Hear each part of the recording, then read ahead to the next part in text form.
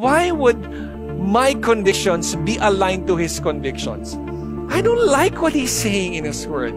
If I do this, what if I lose my business? If I do this, what if I don't get married? If I do this, what if I don't experience the fun? What if I miss out? What if I lose my job? What if I get hurt? We have all of those reasons. How can I be different when everything around me pushes me to give in?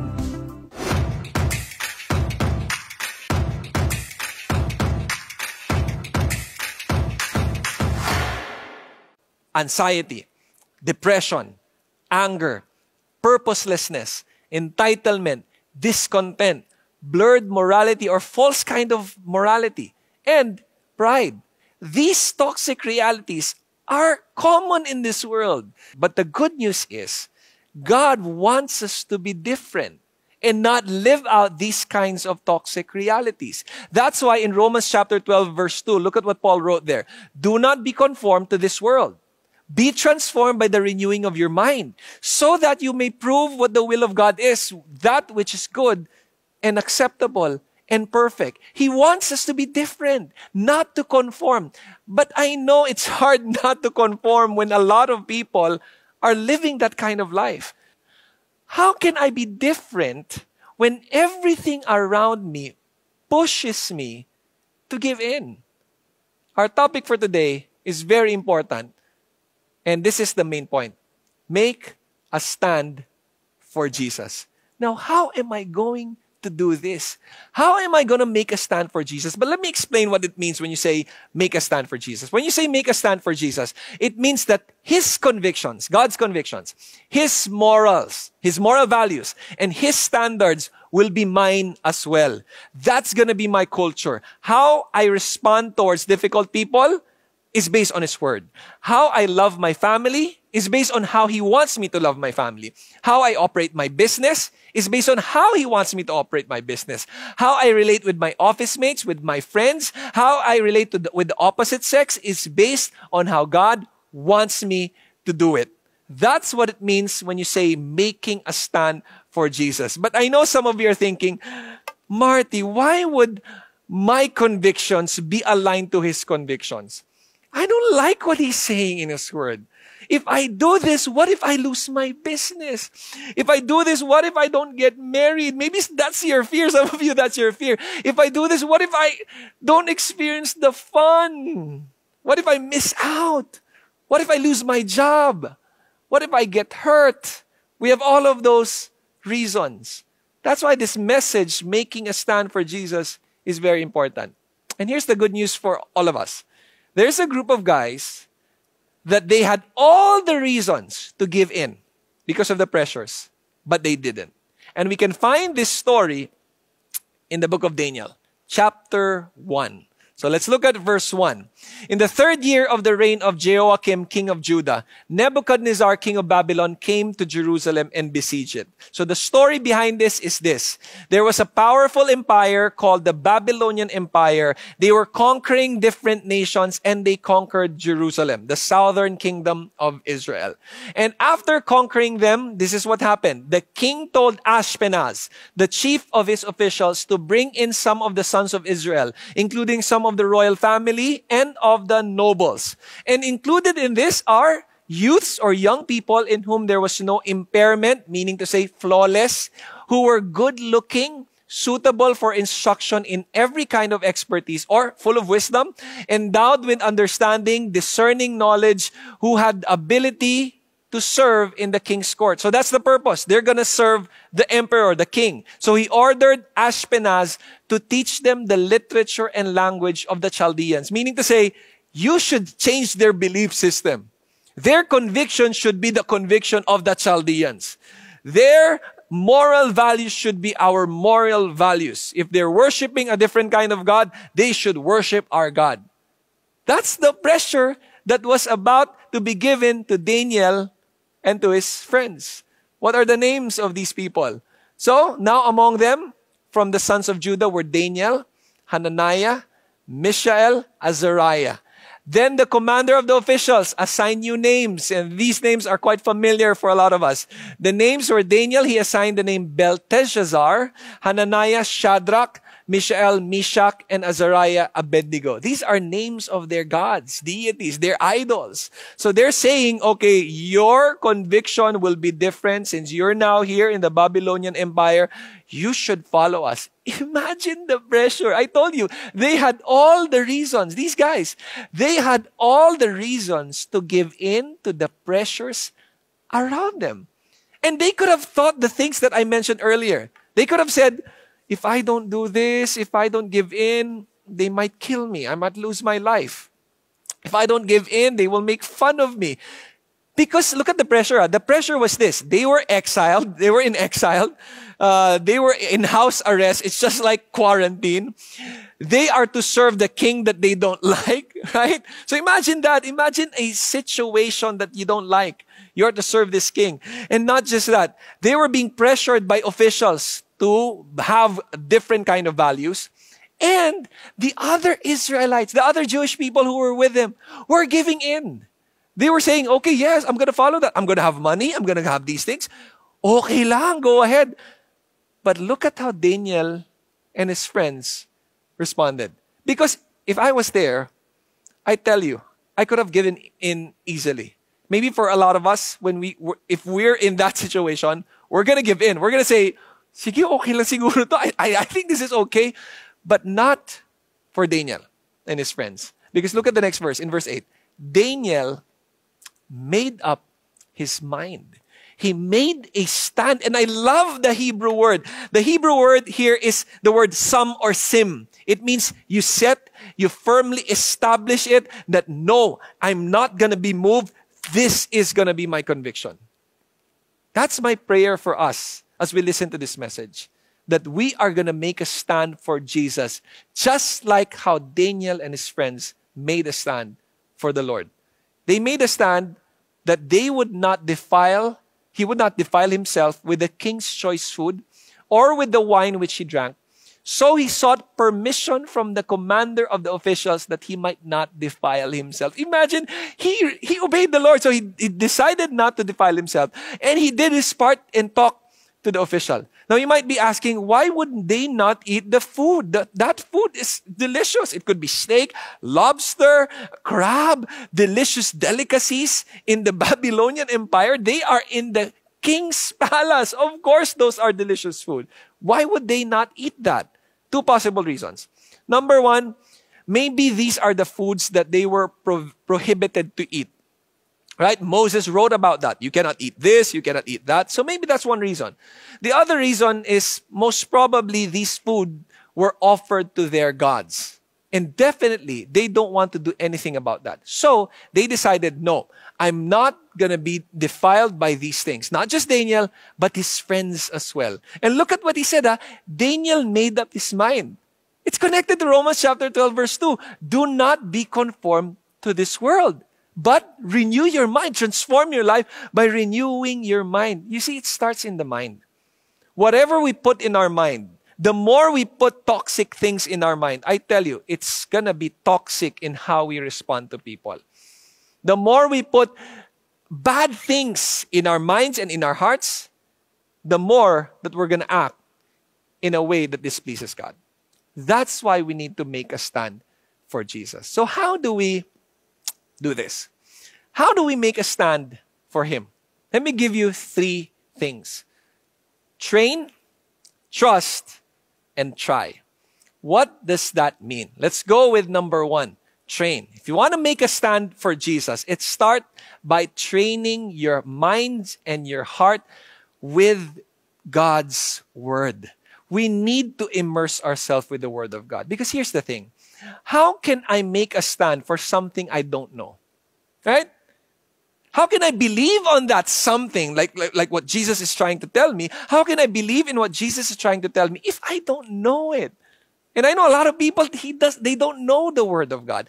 That's why it starts in His Word. Look at another story in the life of Daniel when he was being pressured to pray to another person, not to God. In Daniel chapter 6, this is what happened. In verse 7, all the commissioners of the kingdom, the prefects, the satraps, the counselors, the governors, they consulted together that the king should establish a statute and enforce an injunction that anyone who offers a prayer to any god or person besides you, O king, this is a different king, this is not Nebuchadnezzar, for 30 days shall be thrown into the lion's den.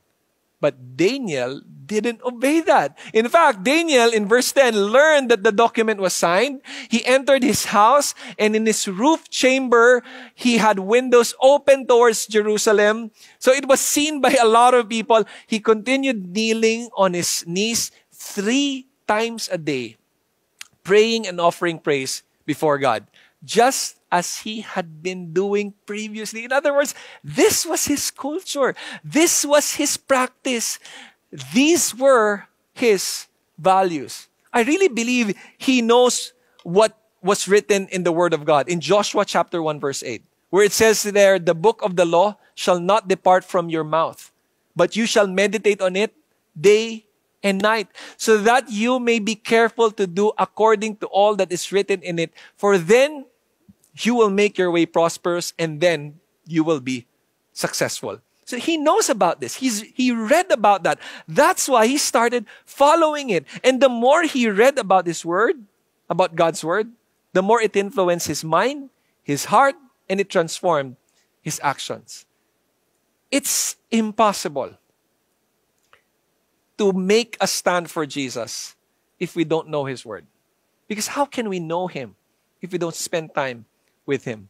You see, our convictions are formed by what is constantly absorbed by our mind. Whatever we put in our mind, let's say we absorb different books, we read it every day, we read those kinds of things every day, we watch those kinds of movies every day, it will influence us.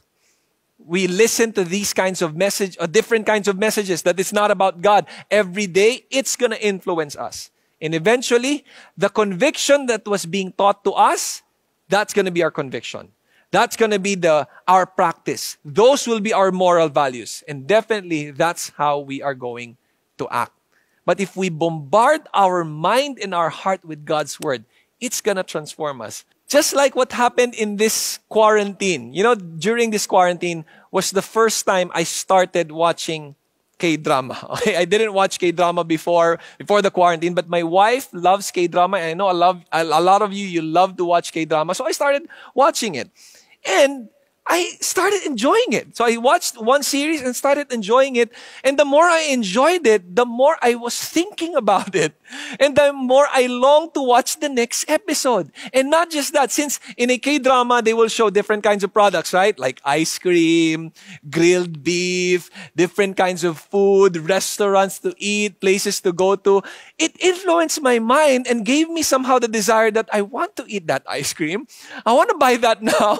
I want to taste grilled beef. I want to go to that restaurant. In fact, for some people, they started studying Korean so that they won't have to read subtitles and understand it easily, right? And for some of them, they want to live in Korea. And maybe for some of them, they know more about Korean history than Filipino history. What am I saying? I'm saying these things because a simple series can influence the way we act. I'm not saying stop watching K-drama, okay? Some of you will get angry at me if I say that. That's not what I'm saying. It's just a proof that whatever we immerse ourselves into, whether it's a series or a movie or a book, it's going to influence our mind, our heart, and our actions. Imagine if we immerse ourselves in God's Word. We read His Word daily. We spend time memorizing His Word. We have memory verse every day, every, every week. We talk to people who loves God. We are part of a D group and listen to the Word of God intently. Definitely. That's gonna influence my our minds and our hearts. Now I know I know some of you are saying, but, but Marty, I K-drama is fun, okay? The Word of God is it's not that fun sometimes. It's a little bit boring sometimes. I don't want to keep reading. I'm not uh, good in reading. I want you to pray this kind of prayer. If you're struggling with that one, pray this prayer. Lord, teach me to love your word. Because that's how he reveals himself to us. And the more we read about him, the more we grow in our love for him. the more we grow in our love for Him, the more our values change, are transformed, and the more we can make a stand for Jesus. So, what's our message again? Make a stand for Jesus. So how do we do this? First, to train using the Word of God. Number two, to trust. What does that mean when you say we need to trust our Lord? It means we need to fully trust who God is and what He can do. Because I realize there's a big difference between knowing Him in the head and completely trusting Him with your heart. A lot of people in this world, they would say, Yeah, I know God. Yeah, I read His Word sometimes. Yeah, I go to church sometimes. Yeah, I pray. But there's no full or complete trust to Him. Unlike the friends of Daniel, look at what happened to Shadrach, Meshach, and Abednego. This is another story as well. But I'm just showing this to you to prove that they were practicing these things. That's why they were able to make up, or they were able to make up their mind to make a stand for God. What happened to them? In Daniel chapter 3, there was an edict in the provinces of provinces of the Babylonian Empire that they should worship the statue of the king. They will bow down when they hear music but not for Shadrach, Meshach, and Abednego. What happened to them? In verse 14, Nebuchadnezzar began speaking and said to them, Is it true, Shadrach, Meshach, and Abednego, that you do not serve my gods, nor worship the golden statue that I have set up? And then what did the three say? Shadrach, Meshach, and Abednego replied to the king, Nebuchadnezzar, we are not in need of an answer to give you concerning this. Meaning say, we know our stand.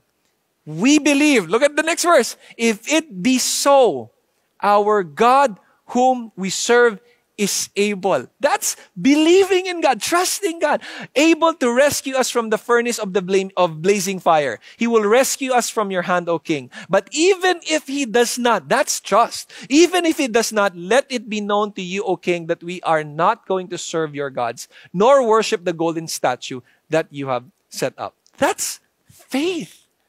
That's the strong belief in God. You know, you know, a lot of us, we we know God's promises. We know that God is good. We know that God is powerful. We know that God is able. We know that God loves us. But when He asks us, okay, do this. Hey, wait, Lord, parang, I don't know if I can do that. I thought you know. I thought we know. I thought we believe. If we believe, then definitely, okay, Lord, this is what the world is telling me to do, but this is what you want me to do. It seems good to follow the standards of this world, but I trust you. I'm not going to follow that. I'm going to go to you. That's what Daniel and his friends did. It's just like this. For example, for example, you are in a basketball game. You're down by one point and there's five seconds on the shot clock. You're the point guard. And two of your teammates are open to take the last shot. One of your teammates, his name is Steph Curry. And the other one is someone pretending to be Steph Curry. They're both open. Now let me ask you, to whom will you pass the ball? An easy answer. Of course, to the one pretending to be Steph Curry. I'm just kidding. Of course, you're gonna pass it to Steph Curry. Why? He has a proven track record. He can hit shots, especially if he's open. Why would you pass it to someone who is just pretending to be Steph Curry? That's called trust because you know who God is. Do, do, you see the connection? If I don't know God, I'm not going to pass the ball of my life to Him. That's why it starts with training our minds and our hearts. So if I know Him because of His Word and I believe what He says, I'm going to pass my, the ball of my life to Him. Okay, Lord, this is what's happening in my love life. I pass it on to you. Okay, Lord, this is what hap- what's happening in my business. This is, I don't understand. I'm tempted to compromise, to cheat, but Lord, I'm passing it to you because you know what's best. Okay, Lord, this is what's happening in our marriage. I'm tempted to cheat. I'm tempted to just let go of this, but I'm passing it to you. Okay, Lord, this is what's happening in our finances. This is what's happening with our health, with these people that I am having a hard time working with. I'm passing the ball of my life to you. You see, our problem is we don't believe that God is who He says He is.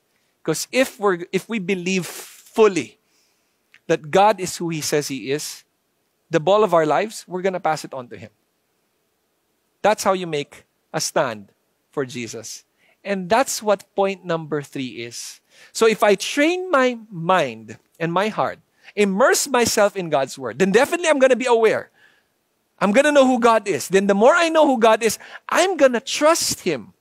Right? I'm gonna trust Him. I'm gonna trust it. And if I really trust Him, then I'm gonna try. I'm gonna obey. Because uh, there are a lot of principles in this world. There are a lot of people who will counsel you, do this, do that. If you don't do it, you won't experience it, right? In the same way with God's promises. If you don't try it, how will you know? That's what happened to Daniel and his friends. Look at what happened to them after making up their mind. Okay, I'm going to make a stand. That's what Daniel said. He was talking to his friends. What are we going to do? What are we going to do? Okay, we can not eat this food. We don't want to defile ourselves. Okay, I'm going to talk to the officer. I'm going to talk to the officer. That's what Daniel did. So he went to the officer. It was a situation that is outside his control. Why? He cannot change the officer's heart. Maybe he was afraid that going to the officer, what if he says no? What if he kills me? What if he sends us in prison? What if we get exiled away from this kingdom? We are now comfortable because we are in this palace. What if we lose all of these things? But look at what happened to Daniel and his friends. In verse 9, God granted Daniel favor and compassion in the sight of the commander of the officials. You see, we need to trust God because God is moving in areas that we don't see, areas that we cannot change. He did that in the life of Daniel and his friends. And then eventually the commander told Daniel, I am afraid of my lord the king who has allotted your food and your drink. For why should he see your faces looking gaunt in comparison to the youths who are your own age? then the, you would make me forfeit my head to the king. I'm gonna die. You're gonna lose weight if you eat whatever you want to eat. And then Daniel said to the official, uh, Daniel said this, please put your servants to the test. Let's just try it. Okay, let's just try it for 10 days. Let us be given some vegetables and water to drink. Vegetables to eat and water to drink. And look at what happened. Okay, look at what happened after 10 days. After 10 days, let our uh, appearance be examined in your presence and the presence of the youths who are eating the king's choice food. The lobster the steak the crabs the whatever delicious food are there. The delicacies the desserts and deal with your servants according to what you see. So if you compare vegetables and water compared to those kinds of food every day for 10 days vegetables and water i don't know if you've tried that. I haven't tried that. You're gonna lose weight. But look at what happened to Daniel and his friends. So the official listened. And at the end of 10 days, their appearance seemed better. They were glowing. And not just glowing. Look at the next phrase. They were fatter than all the youths who had been eating the king's choice food. I don't know about you, okay? But when I studied that word, that, that word fatter in Hebrew means bari, or it's the Hebrew word bari. It means fat, plump, or plentiful. In other words, they were healthier. They became fatter. How can you become fatter when you just eat vegetables and drink water? We all know that for some of you who tried to lose weight already, you know that's, that's part of the discipline. You want to lose weight? Eat vegetables for a week or for two weeks and just drink water. Don't eat any kinds of meat. But that's the miracle that God allowed Daniel and his friends to experience. You know what? Many have missed out on God's miracles all because of disobedience. And look at the miracles that Daniel and his friends could have missed if they didn't obey. Look at the next verse. As for these four youths, God gave them knowledge and intelligence in every kind of literature and expertise. Daniel even understood all kinds of visions and dreams. In other words, not just health, but also wisdom. And not just wisdom, at the end of the 10 days which the king has specified for presenting them, the commander of the officials presented them before Nebuchadnezzar. So when he, when they were presented to Nebuchadnezzar, he talked to these people, to the four of them, and out of them all, not one was found like Daniel, Hananiah, Mishael, and Azariah. And the king said, I want these four guys. Honor. It's not just good health. It's not just wisdom but even bestowing honor to these four guys. And not just that, look at how they were described. As for every matter of expertise and understanding about which the king consulted them, he found them ten times better than all the soothsayer priests and conjurers who were in all his realm. That's why we make a stand for Jesus. How do we do that? We train our hearts and our minds with the Word of God. We trust what we read there. We trust who He says He is. And then if He says, do this, obey me, let go of this, follow me here, do not conform yourself to the pattern of this world. Try it so that we can test that His will is good, pleasing, and perfect. But you know what? For some of us, maybe the reason why we don't want to make a stand for Jesus because we got hurt many times. Got hurt because of other people. Got disappointed because of fellow Christians. Got hurt because we were expecting God to do this and He didn't do it. You see, we need to make a stand for Jesus because He made a stand for you. He made a stand for me. Jesus came down here. Jesus died for your sins and my sins. He was beaten up. He was crucified because He loves you so much. He loves me so much. The reason why I'm, i keep on doing this, even though there are times that it's hard, even though there are trials, there are tragedies, I keep doing this because He never gave up on me. And that's why I'm telling people make a stand for Jesus. You see, when we make a stand for Jesus, life becomes beautiful.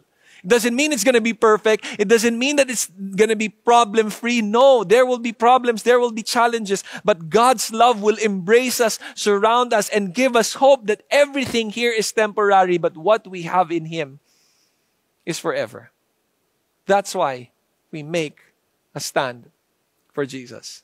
Now, as we close our time, I want to pray for you.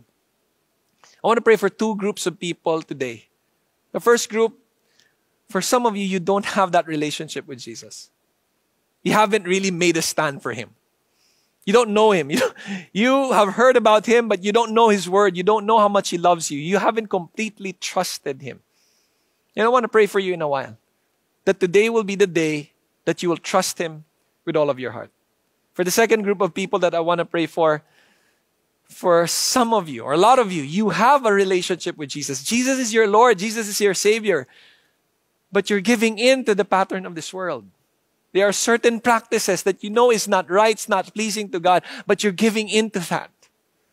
Maybe you, those questions were your questions. Now, what if I miss out? What if it doesn't work? What if I follow Jesus and I just get hurt? And you're scared. But you know what you need to do. So I want to pray for you. So can we bow down our heads? Let's pray.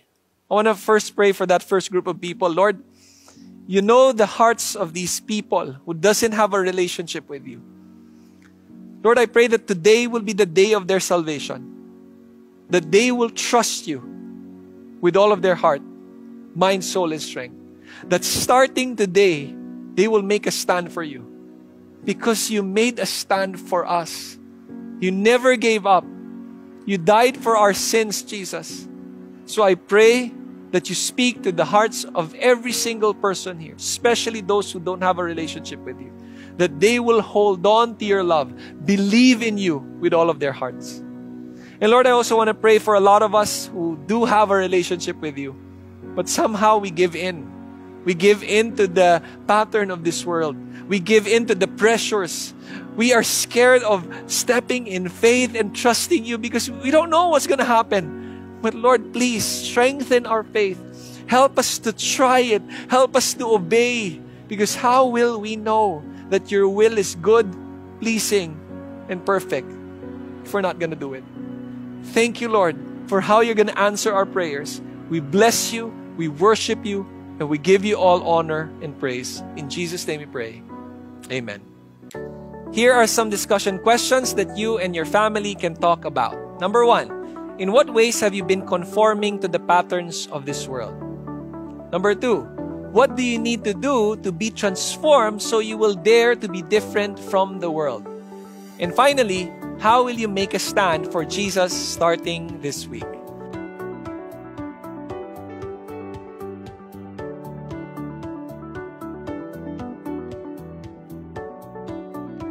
I pray that God will bless and enrich your discussion. God bless.